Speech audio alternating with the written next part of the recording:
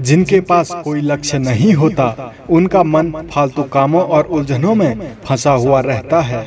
इसलिए एक बड़ा लक्ष्य ज़रूर बनाइए, जो सब्र के साथ इंतज़ार करना जानते हैं। उनके पास हर चीज़ किसी न किसी रूप में पहुँच ही जाती है।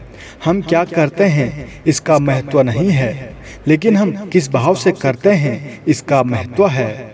लोगों को खोने से मत डरो बल्कि डरो तो इस बात से कि कहीं लोगों का दिल रखते रखते आप अपने आप को न खो दें जो परिस्थिति से लड़ा है वही तो जीवन में आगे बढ़ा है।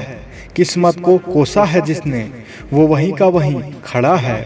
प्रत्येक व्यक्ति में कोई न कोई प्रतिभा ज़रूर होती है। लेकिन हम अक्सर इसे दूसरों जैसा बनने में नष्ट कर देते हैं।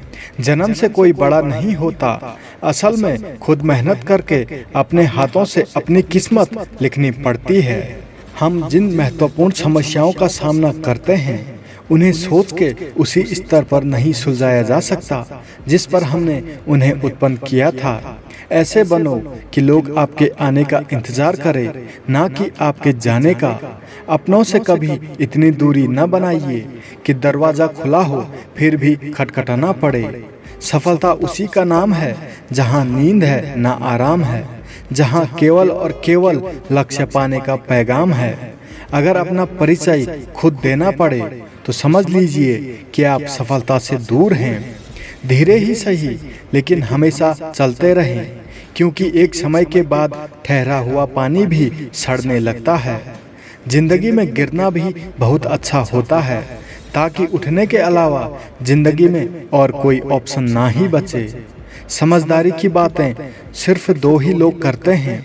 एक जिनकी उम्र अधिक है, दूसरे वो जिन्होंने कम उम्र में बहुत सी ठोकरें खाई है। आप जो करने से डरते हैं, उसे करिए और करते रहिए। अपने डर पर विजय पाने का यही सबसे अच्छा नज़रिया है। वीडियो पसंद आया तो चैनल को सब्सक्राइब ज़रूर करना और अपने दोस्तों के साथ शेयर ज़रूर करना। अपना कीमती समय देने के लिए धन्यवाद।